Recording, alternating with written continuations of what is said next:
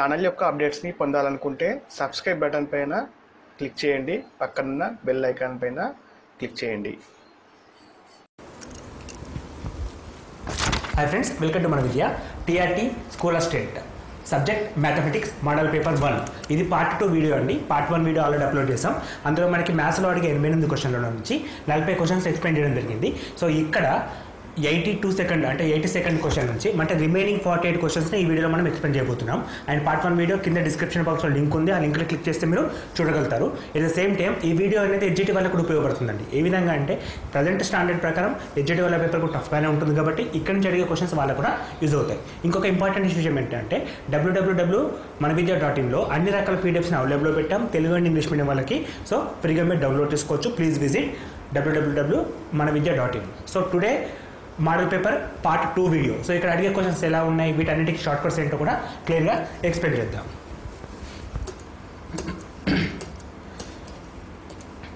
So first question alpha beta గామాలు x square x to the four four minus three x cube plus five x plus two equal జీరోకి మూలాలు అయితే S one plus S two plus S three equal to what so ఇది intermediate base మీద అడిగే question అండి. ఎందుకంటే మనకి S one S two S three ఈ మూడు వచ్చినాయంటే intermediate S one plus S two మాత్రమే వస్తే అవి టెన్త్ బేస్ పైన.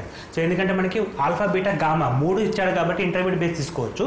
సో ఇచ్చిన ఈక్వేషన్ని ఫస్ట్ మనం జనరల్ ఈక్వేషన్ తోటి కంపేర్ చేయాలి. జనరల్ ఈక్వేషన్ అంటే ఏంటి? A x the power of four plus b x cube plus c x square plus d x plus e equal to zero so ఇక్కడ మనకి ఎస్ వన్ అంటే ఏంటో తెలియాలి. ఎస్ వన్ అంటే minus b by a S two అంటే c by a S three అంటే minus D by ఏ అంటే minus b by a c by a minus d by a ఆల్టర్నేట్గా మారుతాయి. మూడాల మొత్తము అంటే ఇక్కడ alpha plus beta plus gamma. ఇదేమో alpha beta beta gamma gamma alpha. ఇక్కడేమో ఆల్ఫా బీటా గామా అనమాట ఈ S one S three S three S two S three అంటే మీనింగ్ ఇది. సో ఇదంతా మనకు అవసరం లేదు. మనకు జస్ట్ ఫార్ములా తెలిస్తే సరిపోతుంది. సో ఇప్పుడు ఈ ఈక్వేషన్ని మనకి ఇచ్చిన ఈక్వేషన్తో కంపేర్ చేస్తే మనకు వాల్యూస్ వస్తాయి. ఆటోమేటిక్గా ఏ ఈక్వల్ టు వన్ వస్తుంది. And b equal to minus three వస్తుంది. సి ఈక్వల్ టు మాత్రం జీరో తీసుకోవాలి. ఎందుకంటే ఇక్కడ ఎక్స్ స్క్వేర్ టర్మ్ లేదు. లేనప్పుడు మనం దాని గుణకాన్ని జీరోగా తీసుకుంటాం. కోప్షెట్ని అండ్ డి ఈక్వల్ టు వచ్చేసి five e equal to two తీసుకుంటాం. సో ఇప్పుడు మనకు అడిగిన వాల్యూస్ ఎస్ వన్ కావాలి. ఎస్ వన్ ఈక్వల్ టు ఏమవుతుంది? Minus three by one minus half minus three by one which is equal to three S two equal to zero by something zero S three equal to five by sorry minus five by one minus five by one equal to minus five so ఇప్పుడు మనకు అడుగుతుంది S one plus S two plus S three ఈ మూడింటిని add చేస్తాం. Three plus zero minus five equal to minus two వస్తుంది. So answer minus two option number two so ఇటువంటి క్వశ్చన్స్ని ఎక్కువ ప్రాక్టీస్ చేయడం ద్వారా తొందరగా చేయొచ్చు అండ్ అక్యురసీ కూడా మెయింటైన్ చేయొచ్చు. అంటే ఖచ్చితత్వాన్ని కూడా మనం మెయింటైన్ చేయగలుగుతాం. సో ఎక్కువ క్వశ్చన్స్ ప్రాక్టీస్ చేయడానికి ట్రై చేయండి. Next question A plus three B minus C plus four D to the power of ఫైవ్లో విస్తరణంలోని పదాల సంఖ్య సో మనకి విస్తరణంలోని పదాల సంఖ్యకు ఫార్ములా ఉంటుందండి ఇక్కడ ఎన్ని టర్మ్స్ ఉన్నాయో చూసుకోవాలి ఇక్కడ మొత్తం one two three four terms ఉన్నాయి సో ఫోర్ టర్మ్స్ ఉంటే మనకు ఫార్ములా వచ్చేసి N plus one into N plus two into N plus three అంటే అప్ టు త్రీ టర్మ్స్ వరకు తీసుకోవాలి. By three factorial by three factorial తీసుకుంటాం సో త్రీ ఫ్యాక్టోరియల్ అంటే six కాబట్టి మనం సిక్స్ రాసుకోవచ్చు. సో ఇక్కడ మనకి ఎన్ని టర్మ్స్ ఉన్నాయో దానికంటే ఒక రెండు తక్కువ ఒకటి తక్కువ తీసుకుంటాం. సో ఇక్కడ మొ- మొత్తం నాలుగు టర్మ్స్ ఉన్నాయి కాబట్టి N plus one N plus two N plus three తీసుకోవడం జరుగుతుంది. సో ఇప్పుడు మనకి ఎన్ ఈక్వల్ టు ఇక్కడ డిపెండ్ అవుతుందండి. ఈ వాల్యూని బట్టి బే చేసుకుంటాం. ఇక్కడ ఏంటంటే ఫైవ్ అనమాట సో జస్ట్ ఫైవ్ రాసినప్పుడు five plus one five plus two five plus three by three capital అంటే సిక్స్ వస్తుంది. So five plus one six seven eight by six six six get cancer ఏడు వందల యాభై ఆరు. సో మనకు answer యాభై ఆరు ఆప్షన్ నెంబర్ మూడు తీసుకుంటాం. ఆప్షన్ నెంబర్ మూడు తీసుకుంటాం. సో ఫార్ములా తెలిస్తే చాలా వరకు సింపుల్గా చేయొచ్చు. సో ఫార్ములాస్ తెలియకపోతే మాత్రం చాలా కష్టం అండి. సో ఫార్ములాస్ పైన డిపెండ్ అవుతుంది ఎందుకంటే మనం రాసే స్కూల్ అసిస్టెంట్ పేపర్ కాబట్టి ఇక్కడ మనకి ఇంటర్మీడియట్ బేస్ వరకు అడుగుతారు కాబట్టి షార్ట్ కట్ టెక్స్ట్ అనేది తెలియదు. Next question forty nine to the power of N plus sixteen N minus one X నిశేషంగా భాగిస్తుంది. అయితే ఎక్స్ యొక్క గరిష్ట ధనాత్మక విలువ ఎంత? సో ఇది క్వశ్చన్ని మనం ఇంటర్మీడియట్ ఫస్ట్ ఇయర్లో డైరెక్ట్గా చేస్తామండి. ఇంటర్మీడియట్ డైరెక్ట్ ఇంటర్మీడియట్ ఫస్ట్ ఇయర్లో మనకి ఇది సెవెన్ మార్క్ క్వశ్చన్ ఇది. సో దీన్ని ఇప్పుడు మనం విత్ ఇన్ టైం తక్కువ టైం లోపల చేయాలి అంటే మనము అక్కడ మనం వాడింది గణితానుగమన సిద్ధాంతం. సో మ్యాథమెటికల్ ఇండక్షన్ గణితానుగమన సిద్ధాంతాన్ని యూజ్ చేస్తాం. ఇక్కడ కూడా అదే యూజ్ చేస్తాం. కానీ మొత్తం చేయమన్నమాట. ఎందుకంటే మనకి అది విలువ ప్రూవ్ చేయమట్లేదు వాల్యూ ఎంత అడుగుతున్నాడు. సో అక్కడ ఆ ప్రాబ్లం గుర్తుకున్న వాళ్ళకు ఆన్సర్ డైరెక్ట్గా సిక్స్టీ ఫోర్ అని చెప్పి కూడా రాస్తారు. ఎప్పుడు మ్యాథ్స్ ప్రాక్టీస్ చేసిన వాళ్ళు. ఎందుకంటే ఆ క్వశ్చన్కి ఆన్సర్ సిక్స్టీ ఫోర్ ఇది చాలా వెల్ నోన్ క్వశ్చన్ అండ్ అక్కడ అడిగే క్వశ్చన్ రిపీటబుల్ క్వశ్చన్ కూడా ఇది. So direct answer sixty four చేయొచ్చు. సో అలా గుర్తుకులేని వాళ్ళకు గణితానుగమన సిద్ధాంతం మ్యాథమెటికల్ ఇండక్షన్ ప్రకారం జస్ట్ వన్ టూ త్రీ అట్లా సబ్స్టిట్యూట్ చేసుకుంటూ పోతే టూ స్టెప్లో మనకు ఆన్సర్ అర్థమైపోతుంది. సో ఫస్ట్ వన్ సబ్స్టిట్యూట్ చేద్దాం. ఎక్కడ? ఎన్ ప్లేస్లో వన్ రాయాలి. సో ఎన్ ప్లేస్లో మనం one రాసినట్టయితే forty nine to the power of one అంటే ఫార్టీ నైన్ వస్తుంది. Plus sixteen into one minus one forty nine plus sixteen minus one అంటే fifteen which is equal to sixty four ఇక్కడనే తెలిసిపోతుందండి మనకి answer sixty four అని. But N equal to two కూడా రాసుకుంటాం so forty nine square plus sixteen into two minus one. Forty nine square twenty one zero one. Twenty four zero one. ఎందుకంటే మనకి fifty square twenty five hundred. అక్కడికి తొంభై తొమ్మిది dishes అయిపోతుంది. మనకు squares రాజ్యం కూడా డిస్కస్ చేస్తాం. క్లాసెస్లో ఎక్స్ప్లెయిన్ చేస్తున్నాం అన్ని కూడా. సో మీరు ఒకసారి ఎడ్జెడి క్లాసెస్ కింద చూసినట్టయితే ఆ సిలబస్ ఎడ్జి ఎస్ఏ వాళ్ళకు కూడా ఉపయోగపడుతుంది. ఎందుకంటే మేము పేరు అనేది ఎడ్జెట్ అని పెట్టాం. కానీ అది అక్కడ వాడిన టర్మ్స్ కూడా టెన్త్ వరకు యూజ్ చేస్తాం అదే వీడియోస్ అన్ని కూడా ఎస్ఏ వాళ్ళకు కూడా ఉపయోగపడతాయి. మనం చాలా మంది ఏం చేస్తామంటే ఎస్జిటి ఉంటే ఎస్జిటి వీడియో చూస్తాం. ఎస్ఏ ఉంటే ఎస్ఏ మాత్రమే చూస్తాం. అలా కాదండి. మ్యాథ్స్ని ఎప్పుడు సపరేట్ చేయొద్దు. మ్యాథ్స్ అంటే మొత్తం అందరికీ ఒకే రకంగా ఉంటుంది. సో ఇక్కడ మనకి ఫార్టీ నైన్ స్క్వేర్ షార్ట్ కట్లో కావాలంటే forty nine square equal to fifty square ఎంత? Two twenty five hundred. ఇక్కడ నుంచి ఫార్టీ నైన్ ఒక ఫిఫ్టీ. మొత్తం నైంటీ నైన్ తీసేస్తే సరిపోతుంది. సో నైంటీ నైన్ తీసేస్తే మనకు ఆటోమేటిక్గా four four twenty four zero one వస్తుంది. అది షార్ట్ కట్ మెథడ్ ఇక్కడ మనకి అది ఉపయోగపడుతుంది. So twenty four zero one plus thirty two minus one ఈ మైనస్ వన్ దీని నుంచి తీసేస్తే ఇరవై నాలుగు వందలు ప్లస్ ముప్పై రెండు అంటే ఇరవై నాలుగు ముప్పై రెండు. సో దీన్ని మనం అరవై నాలుగు మల్టిపుల్స్లో రాయొచ్చు. ఎందుకంటే మనకు కావాల్సింది అరవై నాలుగు. ఒకటి అర్థమైంది కాబట్టి బై సిక్స్టీ ఫోర్ చేస్తే. ఎందుకంటే మనము ఇప్పుడు క్వశ్చన్స్ని మనం ఎనిమిది మార్కుల క్వశ్చన్ ఏడు మార్కుల క్వశ్చన్ అని చెప్పేసి సెవెన్ మార్క్స్ దాకా రాయట్లేదు. మనకు కావాల్సింది answer with in short time ఎందుకంటే ఇక్కడ క్వశ్చన్స్ పెద్దగా ఉంటాయి. వాటిని తక్కువ టైంలో ఆలోచించడం రావాలి. సో ఇప్పుడు సిక్స్టీ ఫోర్ మల్టిప్లికేషన్ చేసినప్పుడు సిక్స్టీ ఫోర్ త్రీజా అండ్ సిక్స్టీ ఫోర్ ఎయిట్జా మనకి ట్వంటీ ఫోర్ థర్టీ టూ రావడం జరుగుతుంది. సో ఆన్సర్ అనేది మల్టిపుల్స్ ఆఫ్ సిక్స్టీ ఫోర్ రాయగలుగుతున్నాం కాబట్టి మనకు కావాల్సిన గరిష్ట ధనాత్మక విలువ అనేది సిక్స్టీ ఫోర్ అవుతుంది అఫ్కోర్స్ ఫోర్ పోతుంది సిక్స్టీన్ పోతుంది. కానీ వన్ ట్వంటీ ఎయిట్ అనేది డ్యూజిబుల్ కాదు. మనం ఎందుకంటే ఎన్ని కోట్ వన్ రాసినప్పుడు మనకు అర్థమైపోయింది. సో ఎన్ని కోట్ వన్ రాసినప్పుడు వన్ ట్వంటీ ఎయిట్ రావట్లేదు. సిక్స్టీ ఫోర్ వచ్చింది. సో మన గరిష్ట విలువ సిక్స్టీ ఫోర్ వరకే పాసిబుల్ అవుతుంది.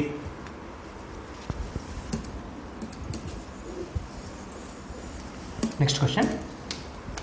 ఒక వ్యక్తి ఐదుగురు స్నేహితులతో ఒకరిని లేదా ఎక్కువ మందిని విందుకు ఆహ్వానించగల విధంలో సంఖ్య.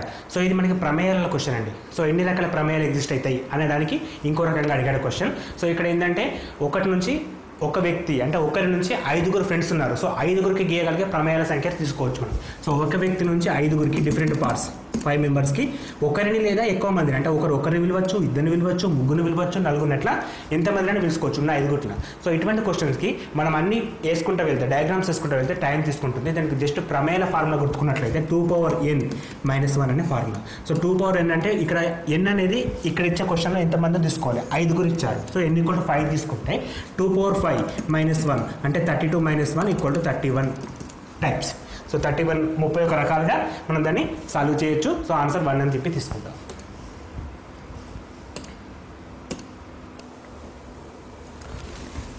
నెక్స్ట్ క్వశ్చన్ విభిన్న రంగుల గల ఏడు పూసలను ఒక కంఠహారంలో అమర్చు విధంలో సంఖ్య. సో ఇక్కడ మనకి పర్మిటేషన్స్ అండ్ కాంబినేషన్ సంబంధించిన క్వశ్చన్ ఇది. సో ఇక్కడ మనకి ఏడు విభిన్న రంగుల గల పూసలను ఒక చైన్లో కంఠహారం అంటే మెడకేసుకునే గోల్స్ కావచ్చు చైన్లో ఎన్ని రకాలుగా అమర్చొచ్చు అని చెప్పేసి క్వశ్చన్ సో ఇక్కడ మనకి ఇది చైన్ రూల్ అండి. అంటే ఒక సర్కిల్కి సంబంధించిన రూల్ అంటే మనకి చైన్ అనేది సర్కిల్లో ఉంటుంది. అంటే ఒక కంప్లీట్ సర్కిల్ రూపంలో ఉంటుంది కాబట్టి ఏడు పూసల గురించి చెప్ అడుగుతున్నాడు కాబట్టి మనం సిక్స్ డిఫరెంట్ టైప్ తీసుకోవాల్సి వస్తుంది. ఎందుకంటే లాస్ట్ అంటే ప్రతి దాన్ని ఒక క్లబ్ తీసుకుంటాం అనమాట సో ప్రతిదాన్ని ఒక క్లబ్ తీసుకుంటే సిక్స్ ఫ్యాక్టోరియల్ బై టూ అని వస్తుంది. ఆన్సర్ దీనికి బేసిక్ ఫార్ములా ఉంటుంది. N minus one by N minus one factorial by two so ఇక్కడ ఎన్ అంటే సెవెన్ కాబట్టి seven minus one factorial by two తీసుకుంటే six factorial by two which is equal to seven twenty by two which is equal to three sixty answer so answer వచ్చేసి three sixty తీసుకుంటాం. So మనకి answer three sixty option number two అంటే మనకి ఈ chain rule అనేది ఎక్కడ వచ్చినా సరే N minus one by two factor తీసుకోవాలి. ఇటువంటి క్వశ్చన్స్ ఇంకో రకంగా అడుగుతాడు ఒక పార్టీలో ఒక వ్యక్తి సపోజ్ పది మంది ఉన్నప్పుడు మిగతా వారికి సెకండ్ ఇచ్చే విధాల సంఖ్య అని కూడా క్వశ్చన్ అడుగుతాడు. అప్పుడు కూడా మనం N minus one by two factor తీసుకోవాల్సి వస్తుంది. సో ఫార్ములా వచ్చేసి N minus one by two factorial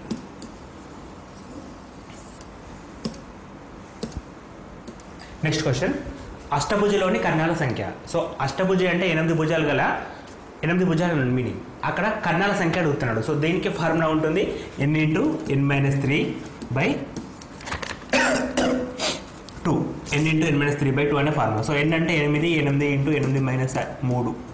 by రెండు రెండు ఎక్కం రెండు నాలుగుల నాలుగు ఇంటూ ఎనిమిది మైనస్ మూడు ఐదు ఐదు నాలుగు ఇరవై. సో ఇక్కడ మనకి కొన్ని ఫార్ములాస్ తెలిస్తే తక్కువ టైంలో చేయొచ్చు అనేది ఇంపార్టెంట్ ఇక్కడ అష్టభుజి లేకపోతే బహుభుజి షడ్భుజిలో కంపల్సరీ ఫార్ములా ఒకటే ఉంటుంది. N into N minus one by three అనేది భుజాలకు సంబంధించింది. కర్ణాలకు సంబంధించింది. భుజాల సంఖ్యకు వేరే ఫార్ములా ఉంటుంది ఆ ఎగ్జాంపుల్స్లో అది డిస్కస్ చేద్దాం. సో ఇక్కడ మాత్రం ఇది N into N minus one by N minus three by two next question A X plus B Y plus C equal to zero K into A X plus K into B Y plus K into C equal to zero రూపంలో ఉండే సమీకరణ వ్యవస్థ ఏ రకానికి చెందింది? So first option వచ్చేసి సంగత. Second option అసంగత. థర్డ్ వన్ పరస్పర ఆధార. సో ఇక్కడ ఈ థర్డ్ ఆప్షన్ చదివేటప్పుడే మనకు అర్థమైపోతుందండి. పరస్పర ఆధార అంటే ఒకదానిపైన ఒకటి ఆధారపడి ఉంది. సో సెకండ్ ఈక్వేషన్లో కే కామన్ తీస్తే మనకు ఫస్ట్ ఈక్వేషన్ వస్తుంది. A X plus B Y plus C equal zero second ఈక్వేషన్లో K common తీస్తే మళ్ళీ A X plus B Y plus C equal zero అంటే ఒకదాని ఒకటి ఒకదానిపైన ఒకటి ఆధారపడి ఉంది కాబట్టి దీన్ని మనం పరస్పర ఆధార సమీకరణ వ్యవస్థ అని చెప్పేసి అంటాం. సో మనకి కొన్ని క్వశ్చన్స్ ఆప్షన్స్ని క్లియర్గా చదవడం ద్వారా కూడా అర్థమవుతుంది. ప్రతిదానికి డెఫినేషన్ అనేది ఎట్లా వస్తుందంటే అవి ప్రవర్తించే విధానాన్ని బట్టి వస్తుంది. సో ఇక్కడ ఎట్లా ఉంది విధానం అంటే ఒక దానిపైన ఒకటి ఆధారపడదు కాబట్టి పరస్పర ఆధారం అని చెప్పేసి చెప్పచ్చు. Next question six comma ten అనే బిందువును అనే బిందువు వాయక్షం నుండి గల దూరం. సో ఆరు కామ పదికి వాయక్షం నుండి గల దూరం ఎంతనో ఫైండ్ అవుట్ చేయాలి. సో సిక్స్ కామ టెన్కి వాయక్షం నుండి గల దూరం.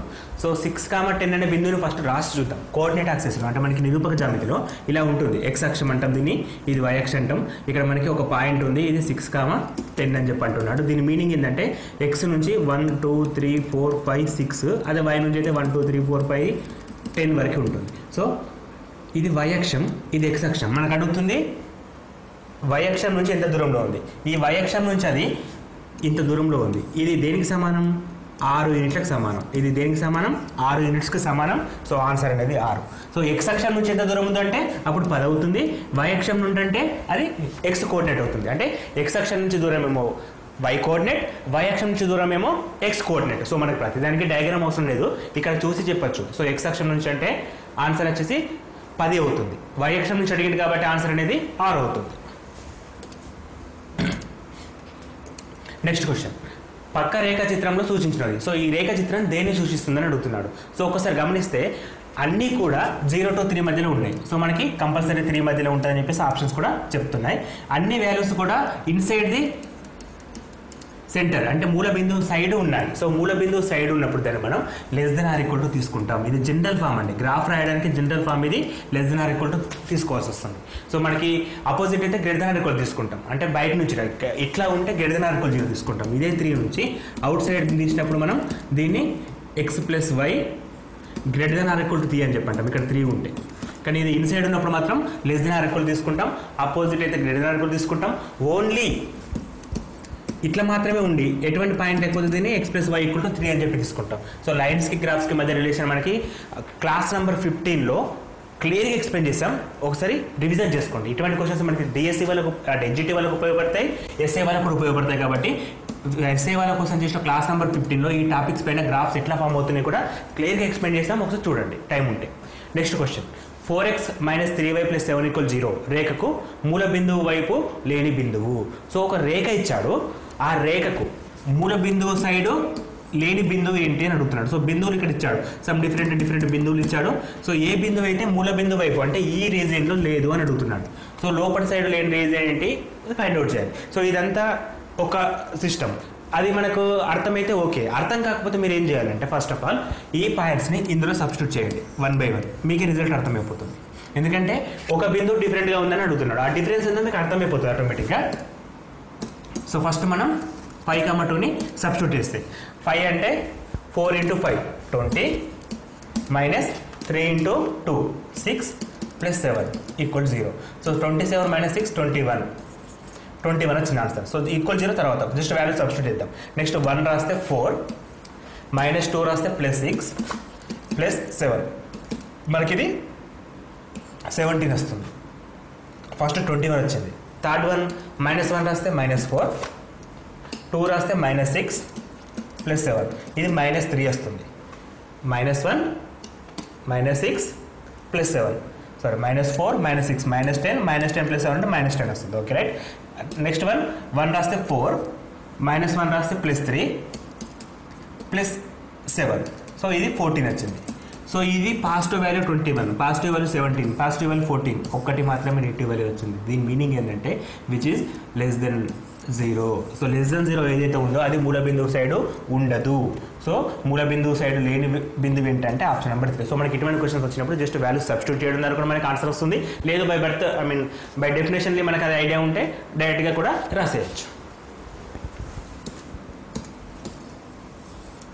నెక్స్ట్ క్వశ్చన్ జీరో జీరో కేంద్రం గల ఒక వృత్తం. వన్ కామ రూట్ త్రీ బిందువు గుండా పోతే దాని వ్యాసార్థం ఎంత? సో ఇక్కడ ఒక వృత్తం ఇచ్చాడు దాని కేంద్రం ఇచ్చాడు. వృత్తం పైన ఒక బిందువు ఇచ్చాడు. సో దాని వ్యాసార్థాన్ని ఫైండ్ అవుట్ చేయమన్నాడు. జీరో జీరో వృత్తం గల జీరో జీరో కేంద్రం గల ఒక వృత్తం. అంటే మూల బిందువు కేంద్రం గల ఒక వృత్తం. ఒకటి కామ రూట్ త్రీ బిందువు గుండా పోతే సో ఈ వృత్తం పైన ఒకటి కామ రూట్ త్రీ అనే బిందువు ఉంటుంది దాని మీనింగ్ అయితే దాని వ్యాసార్థం ఎంత? వ్యాసార్థం అంటే ఫిక్స్డ్ డెఫినేషన్ మనం ఆల్రెడీ డిస్కస్ చేసాం చాలా ప్రాబ్లమ్స్లో కూడా.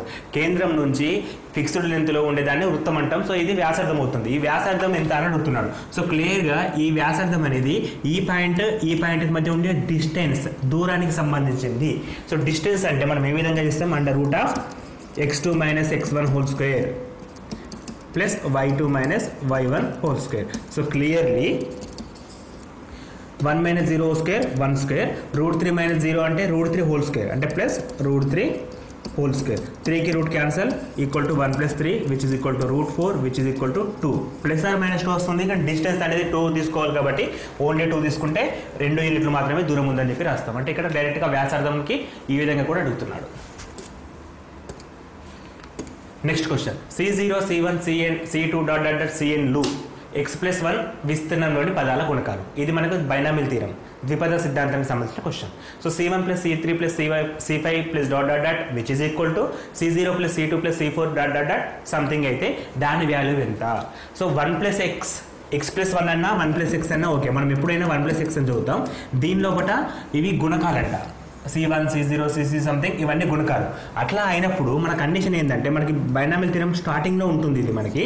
C one plus C zero plus C one plus C two plus dot dot dot C n equal to two power n అనేది ఫార్ములా ఇది కామన్గా గుణకాలు మొత్తం అనేది టూ పవర్ ఎన్కి సమానం. ఎన్ని గుణకాలు ఉంటే అన్ని టూ పవర్ ఎన్లో తీసుకుంటాం దాని ఆన్సర్ సబ్స్టిట్యూట్ చేస్తాం.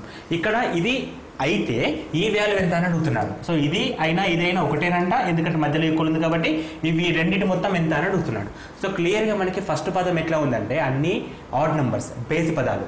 వన్ త్రీ ఫైవ్ అండ్ ఇవన్నీ కూడా బేసి పదాలు. ఇవేమో జీరోతో స్టార్ట్ అయిన సరిపదాలు సో జీరో టూ ఫోర్ అట్లా సరిపదాలు ఇచ్చాడు సో వీటి మొత్తం కనుక్కోవాలి. సో ఇక్కడ మనకి మొత్తం ఎన్ టర్మ్స్ ఉంటాయి. ఎందుకంటే మొత్తం ఎన్ అంటే ఎన్ ప్లస్ వన్ టర్మ్స్ ఉంటాయి ఎన్స్ అనుకుందాం సో ఇక్కడ ఓవరాల్గా ఎన్ ఉన్నప్పుడు జీరో టూ ఫోర్ ఇవన్నీ కూడా ఎన్ని ఉంటాయి అంటే ఆఫ్ ఉంటాయి. అండ్ వన్ త్రీ ఫైవ్ ఇవన్నీ కూడా ఆఫ్ ఉంటాయి. సో నేను వన్ త్రీ ఫైవ్ తీసుకుంటాను. C one C three C five dot dot dot ఎన్ని ఉంటాయి? ఆఫ్ ఉంటాయి. ఎందులో ఆఫ్ ఉంటాయి? ఈ మొత్తంలో ఆఫ్ ఉంటాయి. Two power n by two which is equal to two power n minus one as well as అదేవిధంగా మనకి C zero C two plus ఇవి కూడా సగం ఉంటాయి. ఎందులో? ఇందులో సగం ఉంటాయి. Two power two equal to two power n minus one మళ్ళీ ఈ రెండింటిని మనం యాడ్ చేసినట్టయితే టూ పవర్ ఎన్ వస్తుంది. ఎందుకంటే ఈ రెండింటిని మనం యాడ్ చేస్తే మళ్ళీ ఏమొస్తుంది? ఇదే టర్మ్ వస్తుంది కాబట్టి two power n by two plus two power n by two equal to two power n so ఈ రెండింటిని యాడ్ చేసినప్పుడు అదే వస్తుంది కాబట్టి విచ్ ఇస్ ఈక్వల్ టు రెండు సందర్భాలు కూడా two power n minus one అనేది answer so two power n minus one option number two అనేది correct next question minus three x plus one by two whole to the four of four విస్తీర్ణంలోని స్థిర పదం ఏది? So ఇది కూడా మళ్ళీ binomial తీరం అండి. ఈ బైనామిల్ తీరం గురించి కూడా మనం క్లియర్గా క్లాస్ నంబర్ సిక్స్టీన్లో ఎక్స్ప్లెయిన్ చేస్తాం. ద్విపద సిద్ధాంతం బైనామిల్ తీరం అని. అది చాలా ఇంపార్టెంట్ డిఎస్సీ వాళ్ళకి. హెచ్డి వాళ్ళకి కావచ్చు ఎస్ఏ వాళ్ళకి కావచ్చు. ఎందుకంటే డిఫరెంట్ క్వశ్చన్స్ వచ్చే ఛాన్స్ ఉంటాయి ఇక్కడ మనకి. సో ఇక్కడ మనకి minus three x plus one by two whole to the power of four విస్తీర్ణంలోని స్థిర పదం. సో కొంచెం క్లియర్గా గమనిస్తే అక్కడ ఎన్ని పదాలు ఉంటే తెలుసుకుందాం. ఇంకొక ఎగ్జాంపుల్ తీసుకుంటే నేను. X plus two whole square ఉంది. X plus two whole square మొత్తం పదాలు ఏమి ఉంటాయి మనకి? మూడు పదాలు ఉంటాయి. ఏంటది? A plus b whole square అంటే a square plus b square plus two a b అని మూడు పదాలు ఉంటాయి. సో ఇక్కడ మనకి మొత్తం మూడు పదాలు అంటే ఇక్కడ రెండు ఉంటే దానికి ఓవరాల్గా మూడు పదాలు వస్తాయి. ఇక్కడ నాలుగు ఉన్నప్పుడు ఓవరాల్ ఎన్ని పదాలు వస్తాయి? ఐదు పదాలు వస్తాయి. అది ఫస్ట్ థింగ్ మొత్తం పదాల సంఖ్య ఐదు. సో ఒకటేమో ఎక్స్ టర్మ్ ఒకటేమో non x constant term so స్థిర పదంలో ఎప్పుడైనా సరే లాస్ట్ వచ్చేది స్థిర పదం మనకి ఇప్పుడు దీని ఎక్స్పాండ్ రాసినప్పుడు x square plus two a b అంటే టూ ఇంటూ ఫోర్ ఎక్స్ అంటే four x plus two square అంటే మనకి చివరి పదం ఉంది చూడండి. ఇది టూ స్క్వేర్ ఫోర్ అని రాస్తాం కదా. ఇది స్థిర పదం ఇందులో మాత్రమే ఎక్స్ అనేది ఉండదు. ఎందుకంటే దీనికి ఎక్స్ పవర్ జీరో అందులో ఎక్స్ అనేది ఉండదు. సో ఎక్స్ లేని పదం అంటే x the power zero term అది లాస్ట్కి వస్తుంది. ఒక స్థిర పదమును ఒక ఎక్స్ చిలరాశి పదం ఉంటే దాని విస్తీర్ణంలో ఎక్స్ లేని పదం అనేది లాస్ట్కి వస్తుంది. సో ఇక్కడ ఎక్స్ లేని పదం ఎప్పుడు వస్తుంది అంటే లాస్ట్కి వస్తుంది. అండ్ లాస్ట్కి వచ్చే దాని పవర్ ఎట్లా ఉంటుంది అంటే టూ పవర్ టూ ఇప్పుడు మనం హోల్ క్యూబ్ తీసుకున్నాం అనుకో x plus three whole cube తీసుకుంటే లాస్ట్కి మనకి బీ క్యూబ్ అని రాస్తాం విచ్ మీన్స్ త్రీ క్యూబ్ అనమాట సో లాస్ట్ దానికి ఎంత ఉంటే ఇక్కడ టూ అని తీసుకోండి. మీకు కన్ఫ్యూజ్ అవుతారు. త్రీ త్రీ రెండు ఉంటే సో టూ క్యూబ్ తీసుకోవచ్చు. సో ఆ విధంగానే మనకి లాస్ట్ పదం ఏంటంటే one by two whole power four one by two whole power four equal to one by sixteen answer one by sixteen answer ఇది అనలైజిస్ ద్వారా వస్తుంది. లేదు ఈ థాట్ మనకు రాలేదు జనరల్గా చేయాలి అన్నప్పుడు మనం ఏం చేస్తామంటే స్థిర పదం అంటే ఎక్స్ లేని పదం కనుక్కో ఎక్స్ లేని పదం అనేది ఎప్పుడైనా సరే కాన్స్టెంట్ ఇక్కడ ఇచ్చిన ఎగ్జాంపుల్కి ఎట్లా అంటే లాస్ట్ పదం అవుతుందండి. చివరి పదం అనేది ఎక్స్ లేని పదం అవుతుంది. సో చివరి పదం అంటే మొత్తం పదాలు ఐదు. సో మనకి టీ ఫైవ్ కావాలి. T five equal to T four plus one రాస్తాం. ద్విపద సిద్ధాంతం విస్తరణ. N C r x power n minus r by power r ఇది జనరల్ టర్మ్కి ఫార్ములా సో ఇక్కడ మనం ఎన్ అంటే ఐదు C n C r n C r అంటే ఫోర్ కదా? Five C four x power n minus n n minus అంటే five sorry ఇక్కడ ఏంటంటే ఫోర్ కదండి?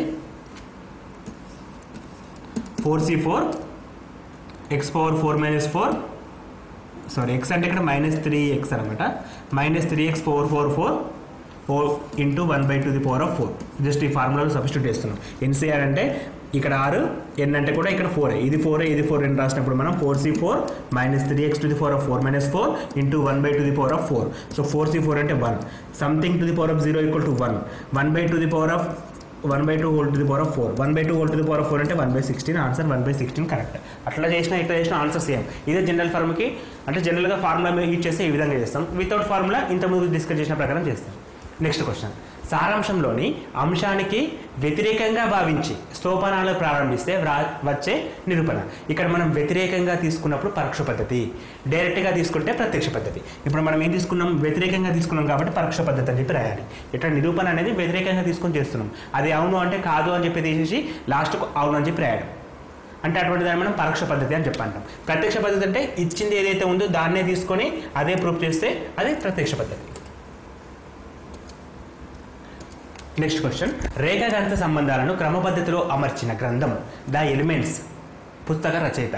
గ్రంథ రచయిత. సో ఎలిమెంట్స్ అనే బుక్ని యూక్లియర్ రాశాడండి. ఇది చాలా important question number of times అడిగాడు. యూక్లియర్ నెక్స్ట్ క్వశ్చన్ ప్రక్కపటం నుండి angle C plus angle F equal to what so angle C అంటే ఎక్కడ ఉంది? E ఈ ప్లేస్ అండి. యాంగిల్ ఎఫ్ అంటే e ఈ ప్లేస్ ఈ రెండు కోణాలు మొత్తం ఎంత అని అడుగుతున్నాడు? అండ్ ఇంకొక విషయం ఏంటంటే ఈ రెండు కూడా సమాంతర రేఖలు వీటిని ఒక రేఖ విచ్ఛేదనం చేస్తుంది. సో అప్పుడు ఎట్లా ఉంటుందంటే ఈ కోణం ఎంత ఉంటే ఈ కోణం ఎంత ఉంటుంది. సపోజ్ నేను ఇక్కడ బి అన్నాడు కాబట్టి బి ఈక్వల్ టు ఎఫ్ రాయొచ్చు ఇది ఎంత ఉంటుందో ఇది కూడా అంతే ఉంటుంది. సో ఇక్కడ C equal to zero H ఈ రెండింటి మొత్తం ఎంత ఉంటుంది? నూట ఎనభై డిగ్రీలు ఉంటుంది. సో ఇప్పుడు మనకి C and B equal to F అంటే ఇక్కడ ఎఫ్ రాసుకోవచ్చు. ఎఫ్ ప్లస్ సి మనకు అడుగుతుంది C plus F C plus F equal to one eighty degrees ఉంటుంది అంటే ఒక సరళ రేఖ కోణాన్ని చూపిస్తుంది. అది నూట ఎనభై డిగ్రీలు ఆన్సర్ అనేది నూట ఎనభై డిగ్రీలకు సమానం. నెక్స్ట్ క్వశ్చన్ ఒక బహుభుజిలోని అంతర్కోణాల మొత్తం దాని బాహ్య కోణాల మొత్తానికి ఐదు రెట్ల సమా ఐదు రెట్లకు సమానమైన ఆ బహుభుజిలోని భుజాల సంఖ్య. సో బహుభుజిలోని భుజాల సంఖ్యకు ఫార్ములా సో ఒక బహుభుజిలోని అంతర్కోణాల మొత్తం దాని బాహ్య కోణాల మొత్తానికి. బహుభుజిలోని బాహ్య కోణాల మొత్తం ఎంత? ఒక బహుభుజిలోని బాహ్య కోణాల మొత్తం త్రీ సిక్స్టీ. ఈ మొత్తానికి ఐదు రెట్లు ఉంటుందట. ఏంటిది? అంతర్కోణాల మొత్తం. అంతర్కోణాల మొత్తానికి ఫార్ములా ఏంటి? Two n minus four into ninety ఇది జనరల్గా అడిగే formula. Two n minus four two n minus four into ninety which is equal to three sixty into five అని ఇచ్చాడు. అంతర్కోణాల మొత్తానికి ఐదు రెట్లు. సో తొంభై ఎక్కం తొంభై నాలుగులో. టూ ఎన్ ఈ మైనస్ ఫోర్ వస్తే plus four. Four into five twenty. Twenty plus four twenty four. Two n equal to twenty four n equal to twelve వస్తుంది. సో మనకు అంతర్కోణాలు మొత్తం ఎంత? సారీ ah, భుజాల సంఖ్య ఎంత? ఎన్ అనేది ట్వెల్వ్కి సమానం కాబట్టి ఆన్సర్ అనేది ట్వెల్వ్ వస్తుంది.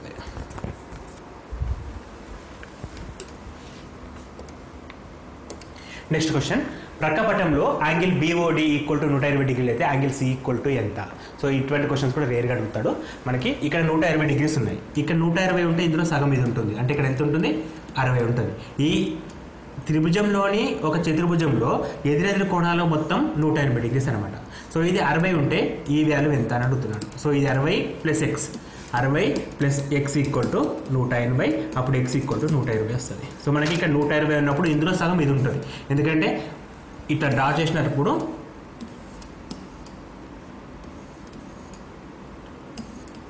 ఈ కోణం ఎంత ఉందో ఇందులో సగం ఉంటుంది. సపోజ్ ఇది టూ ఎక్స్ ఉంటే ఇది ఫోర్ ఎక్స్ ఉంటుంది.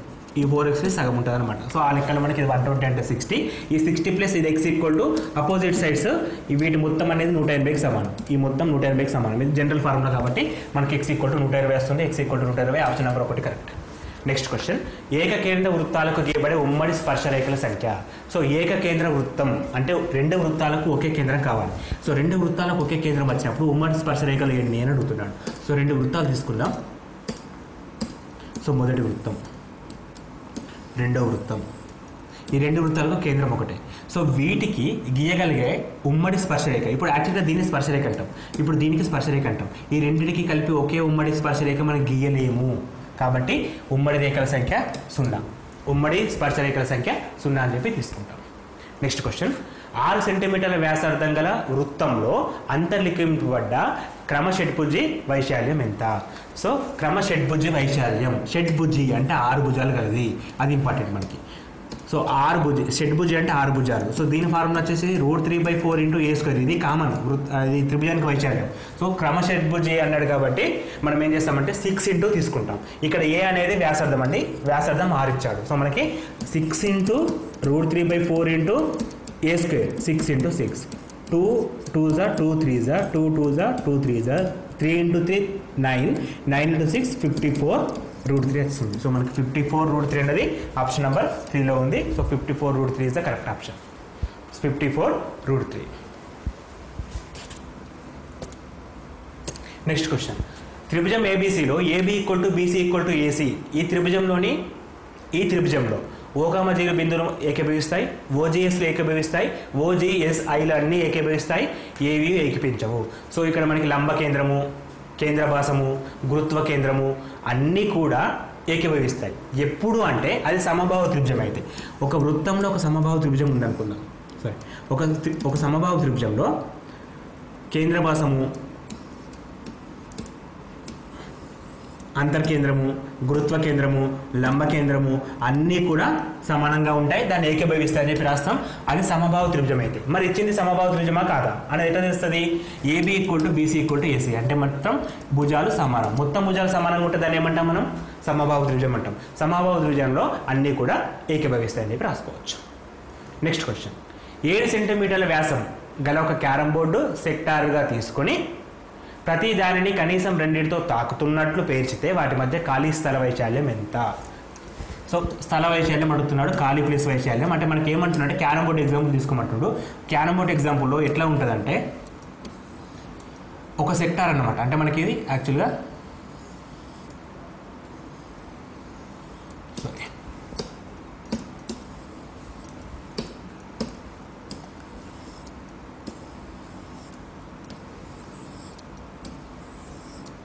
ఇది తాకడమే నాట్ ఇంటర్సెక్ట్ ఇది తాకుతున్నట్టుగా తీయండి.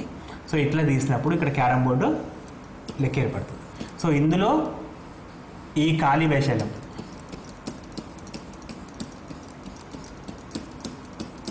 ఈ ఖాళీ వైశాల్యం ఇంత అని అడుగుతున్నాడు. సో అప్పుడు మనం ఏం చేయాలి? ఈ త్రిభుజం చతుర్భుజం ఏర్పడుతుంది కాబట్టి చతుర్భుజ వైశాల్యం మైనస్ ఇది ఒక పార్ట్ ఆఫ్ ది సెక్టార్ ఇది ఒక పార్ట్ ఆఫ్ ది సెక్టార్ ఇది ఒక పార్ట్ ఆఫ్ ది సెక్టార్ ఇది ఒక పార్ట్ నాలుగు పార్ట్స్ కలిపితే ఒక సర్కిల్ ఏర్పడుతుంది. ఎందుకంటే ఇది ఒక ట్వంటీ ఫైవ్ పర్సెంట్ ఇది ఒక twenty five twenty five twenty five అంటే ఇక్కడ ట్వంటీ ఫైవ్ అవుతుంది ఇక్కడ ట్వంటీ ఫైవ్ అవుతుంది. ఈ పార్ట్స్ అనమాట సో మనకి ఒక సర్కిల్ ఏర్పడుతుంది. సో ఒక వృత్తము ఒక చతురస్రం ఏర్పడింది. చతురస్ర వైశాల్యం ఫస్ట్ ఏంటంటే ఇప్పుడు ఏ సెంటీమీటర్లు కాబట్టి ఇది వ్యాసం యాక్చువల్గా ఇది వ్యాసార్థం త్రీ పాయింట్ ఫైవ్ ఇది వ్యాసార్థం.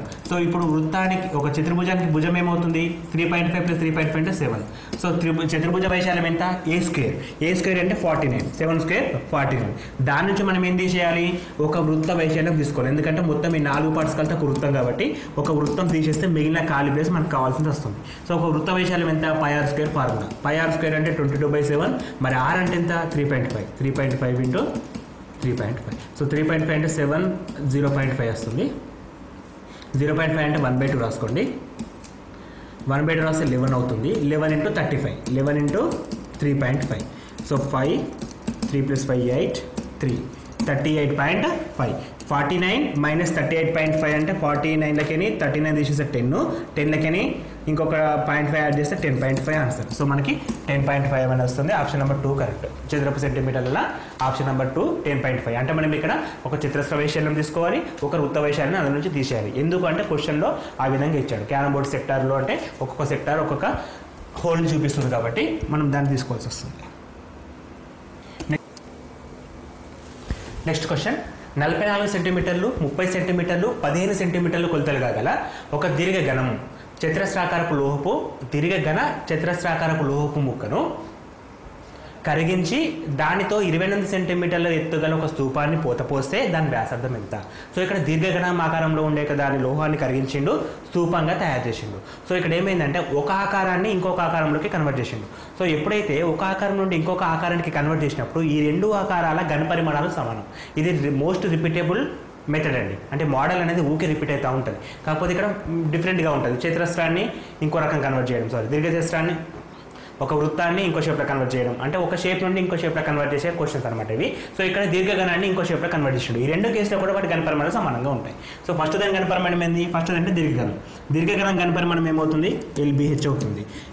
దీన్ని స్థూపంలోకి కన్వర్ట్ చేసినప్పుడు స్థూప గణపరిమాణం పై ఆర్ స్క్వేర్ హెచ్ ఈ రెండు గణపరిమాణాలు సమానమైతే దాని వ్యాసార్థం ఎంత అని అడుగుతున్నాడు సో కొలతల అర్థం నలభై నాలుగు ఇంటూ ముప్పై ఇంటూ పదిహేను equal to pi twenty two by seven into ఆరు స్క్వేర్ మనం కనుక్కోవాలి. ఇంటూ హెత్ అంటే ట్వంటీ ఎయిట్ సో ఏడు ఎక్కం ఏడు నాలుగుల. నాలుగు పదకొండు నాలుగు ఎక్కం పదకొండు ఎక్కం పదకొండు రెంట్ల రెండు ఎక్కం రెండు పదిహేనుల. సో ఆరు స్క్వేర్ ఈక్వల్ టు పదిహేను ఇంటూ పదిహేను. సో ఆరు ఈక్వల్ టు ఎంత? పదిహేను వచ్చేస్తుంది. సో మనకు కావాల్సిన వైశాల్యం మన వ్యాసార్థం అనేది పదిహేను సెంటీమీటర్లకు సమానం. సో ఈ విధంగా ఒక షేప్ నుండి ఇంకో షేప్లో కన్వర్ట్ చేస్తే రెండింటి గణ పరిమాణం సమానమని గుర్తుంచుకుంటే సరిపోతుంది. నెక్స్ట్ క్వశ్చన్ మాత్రిక ఏ తరగతి వన్ బై టూ మాత్రిక బి తరగతి టూ బై త్రీ అయితే A plus B whole transpose విలువ మాత్రిక తరగతి ఎంత? అడుగుతున్నాడు. సో ఒక మాత్రిక ఏకి వన్ బై టూ ఇచ్చాడు. మాత్రిక మాత్రిక బికి టూ బై త్రీ ఇచ్చాడు. ఏ ప్లస్ బి హోల్ ట్రాన్స్పోర్ట్కి తరగతి ఎంత అని అడుగుతున్నాడు. So first A plus B చేయాలి వచ్చిన దానికి హోల్ ట్రాన్స్పోర్ట్ పెట్టాలి అప్పుడు దాని తరగతి ఏందో చెప్పాలి. సో ఏ ప్లస్ బి చేయాలంటే మనకి రెండు మాత్రికల తరగతులు సమానంగా ఉండాలి. ఇక్కడ సమానంగా లేవు కాబట్టి దీన్ని నిర్వచింపలేము. ప్లస్ కానీ మైనస్ కానీ చేయాలంటే వాటి తరగతులు సమానంగా ఉండాలి. మల్టిప్లికేషన్ చేయాలంటే మొదటి తరగతిలోని నిలువు వరుసలు రెండవ తరగతిలోని అడ్డు వరుసలు సమానంగా ఉండాలి. అప్పుడు మాత్రమే దానికి ఎగ్జిస్ట్ అవుతుంది. సపోజ్ ఇక్కడ ఇంటూ ఇచ్చాడు అనుకుందాం. ఏ ఇంటూ బి ఇస్తే అప్పుడు A plus B A into B possible అవుతుంది కాబట్టి two into two two same ఉంది కాబట్టి పాసిబుల్ అవుతుంది. మనకి ఏ ప్లస్ ఏ క్రా- అంటే ఏ ఇంటూ బి ఏమవుతుంది ఆన్సర్ వన్ ఇంటూ త్రీ వస్తుంది. ఈ వన్ ఇంటూ త్రీకి హోల్ ట్రాన్స్పోర్ట్ చేస్తే త్రీ ఇంటూ వన్ వస్తుంది. So answer three into one. అక్కడ మనకి లేదు అది. సో అడగలే కాబట్టి లేదు. ఇక్కడ మనకు అడుగుతుంది ప్లస్ అనేది నిర్వచింపబడదు. ప్లస్ అనేది నిర్వచింపబడదు. Next question A equal to some మాత్రిక ఇచ్చాడు. దాని ఇన్వర్స్ ఎంత అని అడుగుతున్నాడు. ఇన్వర్స్ అంటే విలోమ మాత్రిక కనుక్కోవాలి. విలోమ మాత్రిక కనుక్కోవడానికి జనరల్గా మనకి టూ బై టూకేమో వన్ బై మాడి A into AD minus BC అని చెప్పి యూజ్ చేస్తాం one by AD minus BC అంటే మాడ్ ఏ ఇంటూ మాత్రికని కన్వర్ట్ చేస్తాం కదా?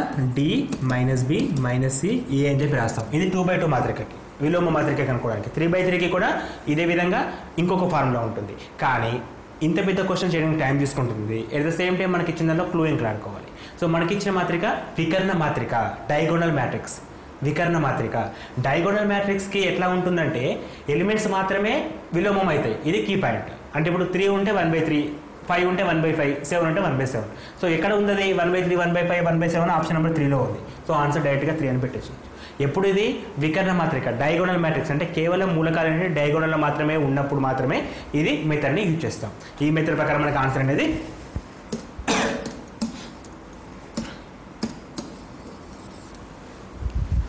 next question det of something అయితే A into adjoint A into A inverse into A equal to what అని అడుగుతున్నాడు. సో దీన్ని సింప్లిఫై చేయాలి మనం. సింప్లిఫై చేయాలంటే మనకి ఇచ్చింది మొత్తం రాసుకుందాం. ఏంటి A into adjoint A into A inverse? Into A. So ఇది ఫస్ట్ అర్జెంట్ ఏ అంటే ఐ అని రాసుకోవచ్చు. Into A. A into I అంటే ఏ ఇన్వర్స్ రాయొచ్చు. So A into A inverse అంటే ఐ రాయొచ్చు మళ్ళీ సో మనకి ఐ ఇంటూ ఏ అని వచ్చింది ఐ ఇంటూ మాడియస్ వస్తుంది. So I into det A అంటే det A value find out చేయాలి. సో డెట్ ఏ వాల్యూ ఎంత ఇచ్చాడు ఇక్కడ? ఇక్కడ ఏ అంటే డెట్ కదా?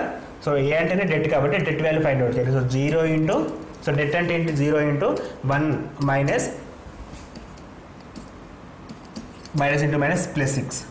Minus one into two into one two. Minus three into three nine.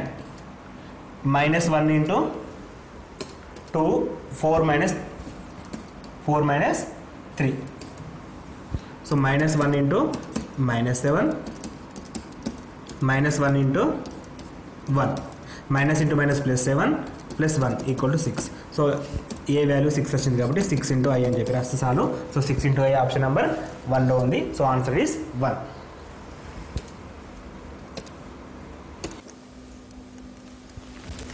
question పదకొండు అంశాల సగటు పదిహేడు పాయింట్ ఐదు అయితే ఒక అంశం పదిహేనును తీసివేసిన మిగిలిన దాని సగటు ఎంత? సో మనకి ఇక్కడ సగటు ఇచ్చాడు అంశాల సంఖ్య ఇచ్చాడు సో మనం ఫస్ట్ మన దాన్ని మొత్తం కనుక్కొని ఆ మొత్తం నుండి పదిహేను తీసేసి కొత్త సగటు కనుక్కోవాలి. సో మొత్తం ఎట్లా వస్తుంది? పదిహేడు పాయింట్ ఐదు ఇంటూ పదకొండు చేయాలి. సో పదకొండుతో షార్ట్ కట్ ఏంటి? ఐదు. ఐదు ప్లస్ ఏడు పన్నెండు. ఏడు ప్లస్ ఒకటి ఎనిమిది ప్లస్ ఒకటి తొమ్మిది. ఒకటి. అంటే one ninety two point five అనేది దీని మల్టిప్లికేషన్కి ఫార్ములా అంటే షార్ట్ కట్ మెథడ్ ఇది కూడా మనం డిస్కస్ చేసాం. Shortcuts with eleven shortcuts with triple one అట్లా డిస్కస్ చేసాం. దీని నుంచి పదిహేను తీసివేయగా. పదిహేను తీసేస్తే ఐదు అలాగే ఉంటుంది. పన్నెండు మైనస్ ఐదు అంటే ఏడు వస్తుంది. ఎనిమిది మైనస్ ఒకటి ఏడు ఒకటి. సో పది నూట డెబ్బై ఏడు పాయింట్ ఐదు వచ్చింది. ఇప్పుడు కొత్త సగటు కనుక్కోవాలి. కొత్త సగటు అంటే అంశాలు ఎన్ని ఉంటాయి? ఆల్రెడీ పదకొండు ఉండే. ఒకటి తీసేసినాం. ఇప్పుడు అంశాలు పది ఉన్నాయి. సో కొత్త అంశాలన్నీ పది. సో ఆన్సర్ ఏమవుతుంది పదిహేడు పాయింట్ ఏడు ఐదు అవుతుంది. సో పదిహేడు పాయింట్ ఏడు ఐదు ఆప్షన్ నెంబర్ ఒకటి కరెక్ట్. సో ఇక్కడ మనకి సగటులో యావరేజెస్ సగటు గురించి కూడా క్వశ్చన్స్ బేసిక్ లెవెల్ నుంచి కూడా అడిగే ఛాన్స్ ఉంది. కొన్ని సందర్భాల్లో కొంచెం టఫ్ లెవెల్స్ కూడా అడుగుతాడండి. So next question A minus D comma A comma A plus D స్కోర్ల యొక్క క్రమ విచలనం సో క్రమ విచలనం కనుక్కోవడానికి బేసిక్ ఫార్ములా క్రమ విచలనం rho equal to under root of sigma X I minus A whole square by N ఇది బేసిక్ ఫార్ములా ఇక్కడ ఏ ఎక్స్ఐ అంటే ఈ విచలనాలు ఎన్ అంటే నెంబర్ ఆఫ్ టర్మ్స్ ఎన్ని టర్మ్స్ ఉన్నాయి మొత్తం? ఎన్ ఈక్వల్ టు మూడు టర్మ్స్ ఉన్నాయి. సో అవి అక్కడ సబ్స్టిట్యూట్ చేయగలిగితే. సో ఎక్స్ఐ అంటే ఒక్కొక్కసారి ఒక్కొక్క టర్మ్ రాస్తే సమ్మేషన్ కాబట్టి ప్లస్ తీసుకుంటాం. So A minus D minus A square plus A minus A whole square plus A plus D minus A square by three plus A minus it cancel minus D whole square అంటే D square plus A minus A zero plus D square by three D square plus D square two D square root two D square by three so root two into D by three root two into D by three option number two ఉంది. Option number two is correct next question ఒక సంచిలో ఐదు నలుపు నాలుగు తెలుపు మూడు ఎరుపు బంతులు కలవు. యాదృచ్ఛికంగా ఒక బంతిని తీసినప్పుడు అది నలుపు కానీ ఎరుపు కానీ అగు సంభావ్యత ఎంత? సో ఇక్కడ ప్రాబబిలిటీ క్వశ్చన్స్ సో ఫస్ట్ నలుపు బాల్ అయ్యే అయితే చూద్దాం ఇక్కడ నల్ల ఎన్ని ఉన్నాయి మొత్తం? ఐదు నల్లవి ఉన్నాయి. మనం ఎన్ని తీయాలి ఇప్పుడు? ఒక్క బాల్ తీయాలి. ఒక బంతిని తీసినప్పుడు ఫైవ్ సి వన్ అంటాం లేదా ఫైవ్ బై మొత్తం? ఐదు ప్లస్ నాలుగు తొమ్మిది తొమ్మిది ప్లస్ మూడు పన్నెండు. ఇది నల్ల బంతి రావడానికి సంబంధిత. రెడ్ కలర్ బంతి రావడానికి ఎరుపు మూడు ఉన్నాయి బై మళ్ళీ పన్నెండు. సో లేదా అని అడిగింది కదా? లేదా అంటే ప్లస్ తీసుకోవాలి మధ్యలో. సో ఐదు ప్లస్ మూడు ఎనిమిది బై పన్నెండు విచ్ ఇస్ ఈక్వల్ టు రెండు బై మూడు. నాలుగు గంట నాలుగు మూడుల ఆన్సర్ రెండు బై మూడు. సో ఇటువంటి క్వశ్చన్స్ ఫ్రాక్షన్ ఆఫ్ సెకండ్స్లో కూడా చేయొచ్చండి. తక్కువ టైంలో చేయడానికి ఛాన్స్ ఉన్న క్వశ్చన్స్ అంటే ఇవి అని చెప్పి చెప్పచ్చు. నెక్స్ట్ క్వశ్చన్ ఒక పాయిజన్ చెల్ రాశి ఎక్స్కి P of X equal to zero equal to zero point two అయితే దాని విస్తృతి విలువ ఎంత? సో విస్తృతి అడుగుతున్నాడు. పాయిజన్ నిష్పత్తికి సంబంధించిన క్వశ్చన్. సో దీనికి ఏం చేయాలి మనకి? పాయిజన్ నిష్పత్తికి నిర్వచనం కావాలి. సో పాయిజన్ నిష్పత్తి నిర్వచనం ఏంటి?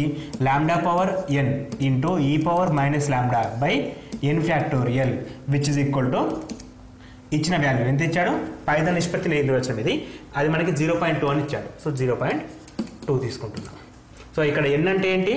E ఈ వాల్యూ సో ఎన్ అంటే zero. So lambda power zero into E power minus lambda zero factorial equal to zero point two. Something power zero one అంటే E power minus lambda by something ఇక్కడ ఏముంది? Zero factor అంటే one equal to zero point two. So ఇది ఏం రాసుకోవచ్చు మనం? One by ఈ power lambda రాసుకోవచ్చు. One by E power lambda equal to one by two అవుతుంది. So E power lambda equal to sorry zero point five అంటే zero point two కదా? అంటే five by two by ten రాయొచ్చు which is equal to one by five so which is equal to one by five so one by E power lambda equal to one by five E power lambda equal to five అని వచ్చింది. So ఈ power lambda equal to five అంటే మనకి అన్ని లాగార్థంలో ఉంటాయి కాబట్టి లాగ్ని apply చేసుకోవాల్సి వస్తుంది. లాగ్ అప్లై చేస్తే log five log five base E answer అనేది ఒకటికి సమానం. సో లాగార్థం అప్లై చేయాల్సి వస్తుంది. E four E four X equal to K ఉంటే లాగ్ కే బేసిక్స్ అని చెప్పి అంటాం కదా. సో అదే విధంగా మనకి ఇక్కడ లాగ్ ఫైవ్ అనేది ఆన్సర్ సో ఇది క్వశ్చన్ చేయాలంటే ఫస్ట్ పాయిజన్ నిష్పత్తి నిర్వచనం కావాలి. ఇది పాయిజన్ నిష్పత్తి నిర్వచనం. ఇది వాడు ఇచ్చిన ఆన్సర్ సో ఎన్ వాల్యూ ఎంత ఇచ్చాడు? జీరో ఇచ్చాడు. సో జీరో రాసినప్పుడు మనకి ఆన్సర్ వస్తున్నాం కాబట్టి జీరో సబ్స్టిట్యూట్ చేసి సింప్లిఫై చేసి జీరో పాయింట్ టూ నేను టూ బై టెన్ రాస్తే వన్ బై ఫైవ్ వస్తుంది. ఈ ల్యాండా ఫోర్ మైనస్ వన్ ఉంది కాబట్టి కిందికి వస్తే ల్యాండా ఫోర్ ల్యామ్ ఈ ఫోర్ ల్యాండా అవుతుంది. సో ఈ రెండింటిని ఈక్వల్ చేసుకోవచ్చు. ఈ రెండింటికి లాగ్ అప్లై చేస్తే లాగ్ ఫైవ్ అనేది ఆన్సర్ వస్తుంది. సో ఆన్సర్ అనేది లాగ్ ఫైవ్కి సమానం. Next question. ఒక సమస్య సాధనకు కంప్యూటర్కు మనం అందించే భాష ప్యాకేజ్ కాదు క్రమచిత్రం కాదు అల్గార్థం కాదు. దాన్ని మనం లాంగ్వేజ్ అంటాం. సో దాన్ని మనం సారీ అది మనం అల్గార్థం అందిస్తాం. లాంగ్వేజ్ అందించాం. కంప్యూటర్ లాంగ్వేజ్ అంటే భాషకు ఇంకో పేరు లాంగ్వేజ్. సో మనకు అడుగుతుంది ఏంటంటే మనం కంప్యూటర్కి ఇచ్చే లాంగ్వేజ్ ఏది అని కూడా క్వశ్చన్ అనమాట మనం ఇచ్చేదాన్ని అల్గార్థం అని చెప్పి అంటాం. సో ప్యాకేజ్ అనదు లాంగ్వేజ్ అనదు క్రమచిత్రం అనదు దాన్ని మనం అల్గార్థం అని చెప్పి అనాలి. ఇది మనకి గణన అనే టాపిక్ నుంచి క్వశ్చన్ అండి. ఇది కూడా మ్యాథ్స్కి సంబంధించింది. మనకి ఇక్కడ పాయింట్స్ వేరే ఉన్నాయి కానీ చెప్పేసి ఇది మ్యాథ్స్ కాదు ఏమో అనుకుంటాం కానీ ఇది కూడా మ్యాథ్స్కి సంబంధించిన క్వశ్చనే నెక్స్ట్ క్వశ్చన్ అంక శ్రేణిలో ఏడవ పదానికి ఏడు రెట్లు పదకొండవ పదానికి పదకొండు రెట్లు సమానమైన పద్దెనిమిదో పదం విలువ ఎంత? సో ఏడో పదం. అంక శ్రేణిలో ఏడో ఏడో పదం ఏమవుతుంది? ఏ ప్లస్ సిక్స్ డి అవుతుంది. ఎందుకంటే అంక శ్రేణిలో ఏడవ పదం. అంటే A plus N minus one into D N minus one అంటే seven minus one equal to six into D. A plus six D? A plus six డికి ఏడు రెట్లు? నెక్స్ట్ పద్దెనిమిది రెట్లు పదకొండు రెట్లు అడిగిందా? సో పదకొండవ పదం. పదకొండవ పదం ఏ ప్లస్ టెన్ డి. ఏడవ పదానికి ఏడు రెట్లకు పదకొండవ పదానికి పదకొండు రెట్లకు సమానమైతే వాడు అడుగుతుంది ఏ ప్లస్ సెవెన్ డి. పద్దెనిమిదో పదం అంటే ఈక్వల్ టు ఎంత అని అడుగుతున్నాడు. సో దీనికి డైరెక్ట్గా వేరే మెథడ్ ఏమి ఉండదు. రెండింటిని క్లారిఫై అంటే కంపేర్ చేసినప్పుడు ఆ ఈక్వేషన్ రావాలి. అట్లా వచ్చేటట్టే క్వశ్చన్ ఫామ్ అవుతుంది. వేరే రకంగా అడగడం. సో ఇట్లా అడిగిన వాటికి question already zero or seventeen ఉంటుంది. సో అక్కడ ఏ నెంబర్ ఉందో దానికి తగ్గట్టుగా ఉంటుంది. సో ఇప్పుడు మనకి ఏమొస్తుందో చెక్ చేద్దాం ఒకసారి. సో పదిహేడు పది అంటే ఇది కాబట్టి seven into A seven A plus forty two D which is equal to eleven A plus one ten D so అన్ని పదాలు ఒక తీసుకు తీసుకెళ్తే eleven minus seven four A forty two minus one ten sixty eight D which is equal to zero which is equal to zero so four common తీస్తే A plus seventeen D equal to zero so A plus seventeen D అంటే ఏ eighteen అంటే పద్దెనిమిదో పదం. పద్దెనిమిదో పదం మనకి ఎంత వచ్చింది? సున్నాకి సమానం. సో అయితే పదిహేడు ఉంటుంది లేకపోతే సున్నా ఉంటుంది ఆన్సర్ కాకపోతే మనం కరెక్ట్గా చేసినప్పుడు ఆన్సర్ అనేది సున్నాకి సమానమైంది సో ఆన్సర్ అనేది జీరో సో ఇక్కడ మనకి ఏ ఆరో పదం అంటే ఏ ఏడో పదం అంటే ఏ ప్లస్ సిక్స్ డి దానికి ఏడు రెట్లు ఉంటుంది. పదకొండవ పదం. పదకొండవ పదం అంటే ఏ ప్లస్ టెన్ డి దానికి పదకొండు రెట్లు ఉంటుంది. ఈ రెండింటిని కంపేర్ చేసినప్పుడు మనకి ఏ ప్లస్ సెవెంటీన్ డి వచ్చింది. డైరెక్ట్ ఆన్సర్ అనేది సున్నాకి సమానం. Next question cos theta by one minus sine theta plus cos theta by one plus sine theta equal to four అయితే టీటా వాల్యూ ఎంత? సో ఈ క్వశ్చన్ని సింప్లిఫై చేయాలంటే మనకు నెంబర్ ఆఫ్ వేస్ ఉంటాయి త్రికోణమితిలో. మనకు ద షార్టెస్ట్ వే ఏంటంటే ఈ క్వశ్చన్కి మాత్రం ఫస్ట్ ఎల్సిఎం చేసేయండి. ఎల్సిఎం చేసినప్పుడు ఏమవుతుంది?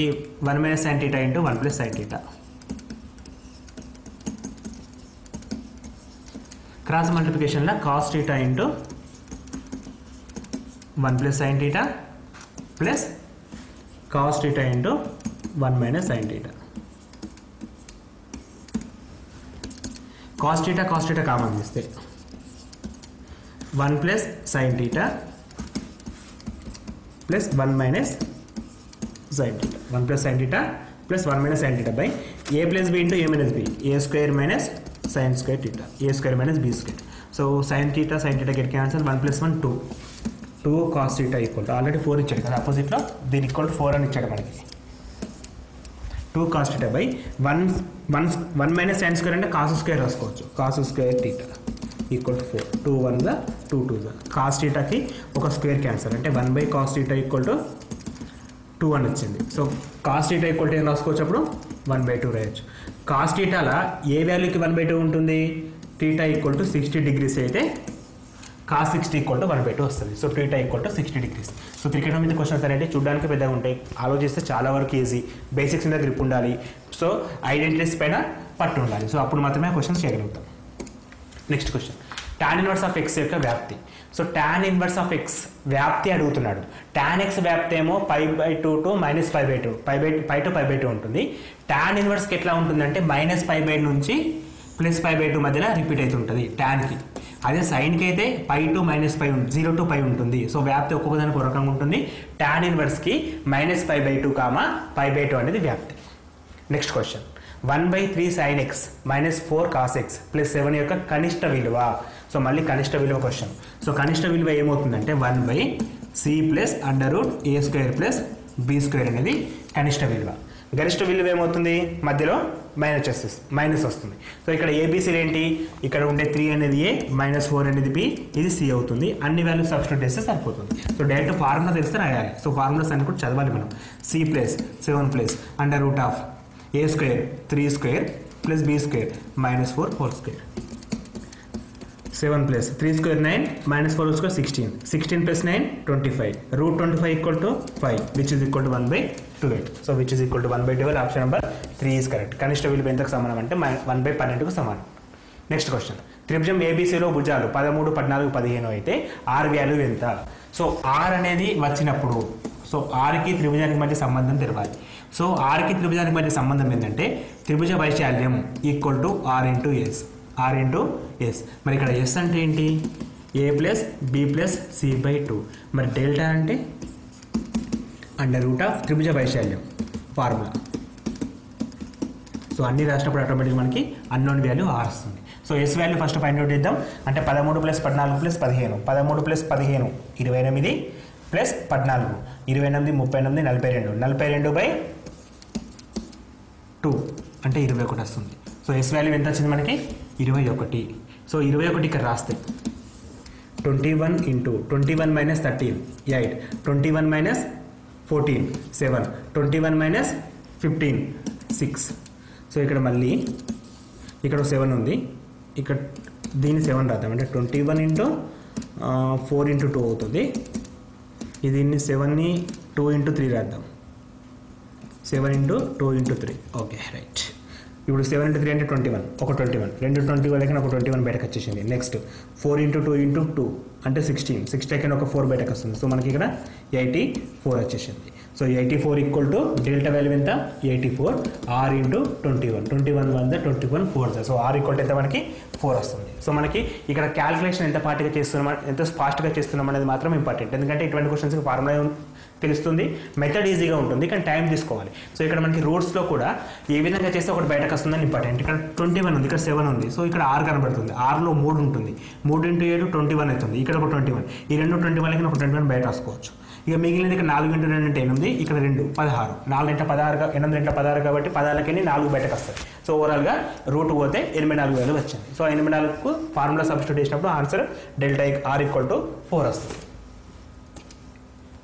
Next question h one h tool ఎత్తులు గల గోపురాలు వాటి పాదాలను కలిపే రేఖల మధ్య బిందువులు వరుసగా అరవై డిగ్రీలు తొంభై డిగ్రీలు కోణాలు చేస్తుంటే h one h two h two ఇది యాక్చువల్గా గోపురాల ఎత్తుల గురించి ఇచ్చాడు. వాటి కోణాల మధ్య రిలేషన్స్ ఇచ్చాడు. ఈ కోణం ఇంత సిక్స్టీ డిగ్రీస్ ఈ కోణం ఇంత థర్టీ డిగ్రీస్ అని ఇచ్చాడు.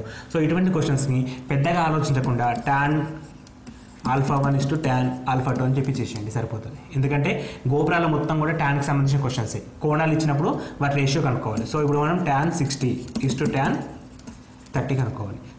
Tan sixty is to tan thirty tan sixty అంటే root three one by root three which is equal to three is to one అని చెప్పి రాయొచ్చు. త్రీ ఇస్ టు వన్ అంటే option number four correct three is to one అని చెప్పి రాస్తే అయిపోతుంది so ఇటువంటి క్వశ్చన్స్ని ఎంత తక్కువ టైంలో చేస్తున్నాం అనేది ఇంపార్టెంట్ అంతకుమించి వేరే ఏమి ఉండదు. సో ఇక్కడ ఫార్ములా అంటే గోపురాలకు సంబంధించి మొత్తం ట్యాన్ పైన ఆధారపడతాయి కాబట్టి tan alpha one into tan alpha two తీసుకుంటే సొల్యూషన్ సరిపోతుంది. ఇక్కడ మనకి ఇది సెవెన్ మార్క్ క్వశ్చన్ అండి యాక్చువల్గా అంత టైం మనం చేయలేము. సో దానికి షార్ట్ కట్ మెథడ్ ఏంటంటే ఎంసెట్లో చెప్పే మెథడ్స్ ఇవి యాక్చువల్గా సో అవి ఇక్కడ మనకు ఉపయోగపడతాయి. ఎస్ఏలో ఇంటర్మీడియట్ సిలబస్ ఉంటుంది. Intermediate based and EAMCET so EAMCET అనేది కూడా మనకి ఇక్కడ షార్ట్ కట్కు ఉపయోగపడతాయి. ఒకటి యొక్క ఘనమూలం డబ్ల్యూ అయితే ఉమేగా అయితే one plus omega plus omega minus omega square విలువ ఎంత అని అడుగుతున్నాడు.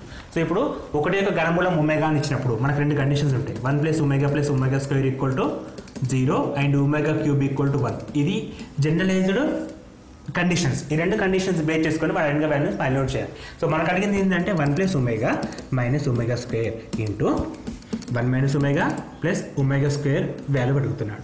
సో ఇక్కడ మనకి ఈ రెండు కండిషన్స్ యూజ్ చేసుకోవాలి. So one plus omega equal ఏం రాయొచ్చు? మైనస్ ఒమేగా స్క్వేర్ రాయొచ్చు. Minus omega square minus omega square and one plus omega square equal ఏం రాయొచ్చు? మైనస్ ఒమేగా రాయొచ్చు. అంటే minus omega minus omega minus two omega square minus two omega minus into minus plus two into two four into omega square into omega omega cube and omega cube అంటే one so four into one equal to four answer so answer four omega questions మనకి సంకీర్ణ సంఖ్యలు complex numbers అనే టాపిక్లో ఈ problem ఉంటుంది. Intermediate first second year maths A లో topics అండి ఇవి. మ్యాథ్స్ ఏలో డైరెక్ట్ క్వశ్చన్స్ ఇవి. మనకి ఫోర్ మార్క్ క్వశ్చన్స్ ఇవన్నీ కూడా. మ్యాథ్స్ ఏలో second year maths A. Next question three comma six twelve comma minus three బిందువులను కలుపు రేఖ ఖండము ఎక్స్ అక్షము విభజిస్తే నిష్పత్తి. సో రేఖ ఖండము ఎక్స్ అక్షాన్ని విభజించే నిష్పత్తి అడుగుతున్నాడు. ఎక్స్ అక్షాన్ని విభజించే నిష్పత్తి ఏంటి minus y one is to y two సింపుల్గా అదే ఎక్స్ అక్షాన్ని అయితే వై అక్షాన్ని అయితే minus x one is to x two అవుతుంది. సో ఎక్స్ అక్షాన్ని minus y one is to y two so six minus six is to y two already ఇక్కడ minus three ఉంది కదా? సో మైనస్ త్రీ అంటే two is to one two is to one option number three is correct option number three అనేది correct answer next question త్రి ABC త్రిభుజానికి G అనేది కేంద్ర భాసం అయితే AG square plus BG square plus CG square by AB square plus BC square plus AC square value ఎంత? So కేంద్ర భాసం అంటే ఫస్ట్ తెలియాలి సో ఇది కేంద్ర భాసం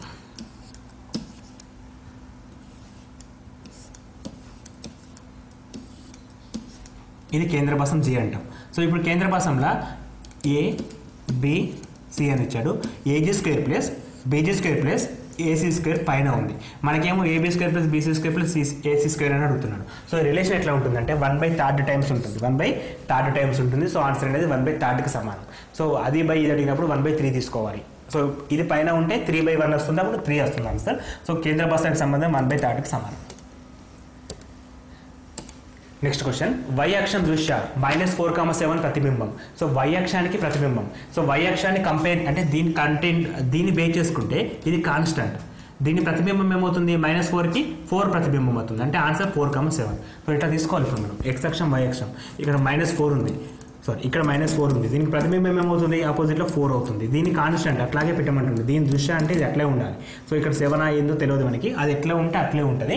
కానీ మైనస్ ఫోర్ ఉంటే ప్లస్ ఫోర్ ప్లస్ ఫోర్ ఉంటే మైనస్ ఫోర్ తీసుకోవాల్సి వస్తుంది. సో ఇక్కడ మనకి ఫోర్ కమ సెవెన్ ప్రతిబింబం పైన question next question X square by sixteen plus Y square by nine equal to one దీర్ఘవృత్తం యొక్క వృత్కేంద్రత ఎసెంట్రిసిటీ ఎసెంట్రిసిటీ అంటాం. E ఈతో చూపిస్తాం. ఇది మనకి పరావాలయంలో క్వశ్చన్ అండి. పరవలయాల క్వశ్చన్ సెకండ్ ఇయర్ మ్యాథ్స్ బీలో థర్డ్ యూనిట్ పరవలయాలలో క్వశ్చన్ దీన్ని మనం ఉత్కేంద్రత అంటాం. ఇది జనరల్గా ఒక దీర్ఘవృత్తానికి సమానం. అంటే పరావలయానికి కూడా ఇదే సమీకరణం. పరావలయం. Hyperbola sorry పారాబోలాకి equation parabola x square by a square plus y square by b square కామన్గా పారాబోలా ఈక్వేషన్ ఏంటి? X square by a square plus y square by b square equal to one అనేది ఒక parabola చూపిస్తుంది. So parabola equation అంటే ఒక దీర్ఘ పరావలయానికి సమీకరణం. ఆ సమీకరణంలో ఉత్కేంద్రతని మనం ఈ అంటాం.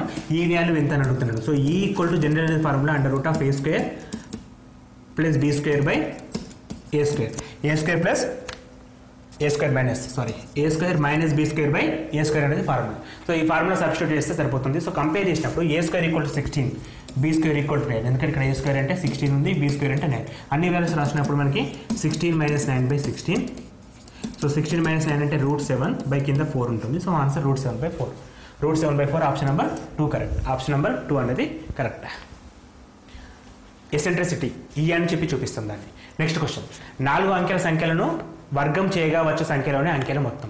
సో ఎప్పుడైనా సరే ఒక అంకెని వర్గం చేసినప్పుడు ఒక సంఖ్య ఉందనుకుందాం. సపోజ్ ఇప్పుడు ఇరవై రెండు ఉంది. దీన్ని వర్గం చేస్తే అంటే ఇక్కడ రెండు నెంబర్ ఉన్నాయి కదా అయితే మనకి two n or two n minus one terms వస్తాయి.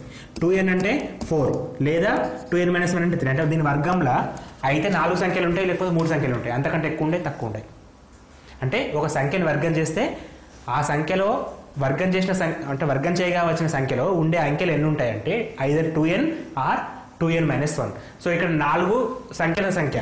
సో నాలుగు అంకెలు అంటే ఇక్కడ నాలుగు రాసినప్పుడు two into four eight or seven eight minus one seven so ఎనిమిది లేక ఏడు అంకెలు ఉండే ఛాన్స్ ఉంది. సో ఆప్షన్ నెంబర్ వన్ అనేది కరెక్ట్ నెక్స్ట్ క్వశ్చన్ త్రిభుజంలోని ఉన్నతుల మిలతుల మిలిత బిందువు.